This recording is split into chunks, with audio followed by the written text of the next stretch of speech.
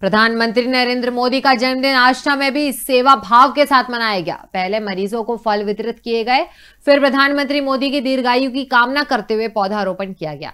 आष्टा में प्रधानमंत्री नरेंद्र मोदी का जन्मदिन सेवा भाव पखवाड़ा के रूप में मनाया गया। जिला पंचायत अध्यक्ष गोपाल सिंह ने बताया कि प्रधानमंत्री नरेंद्र मोदी के जन्मदिन के अवसर पर सर्वप्रथम सिविल अस्पताल में मरीजों को फल वितरित किए गए। इसके बाद प्रधानमंत्री की दीर्घायु की कामना करते हुए पौधारोपण किया गया।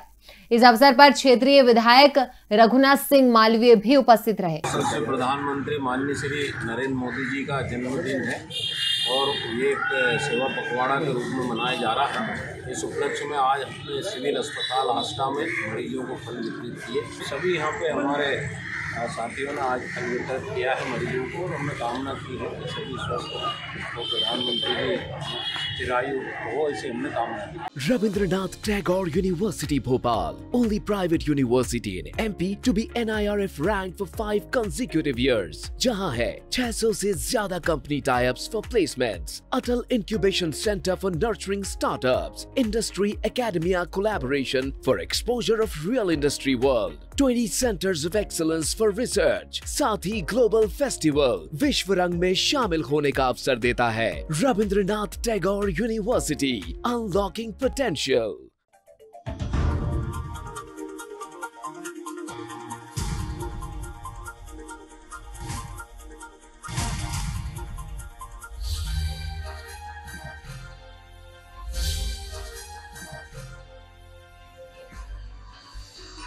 आप देख रहे हैं दखल न्यूज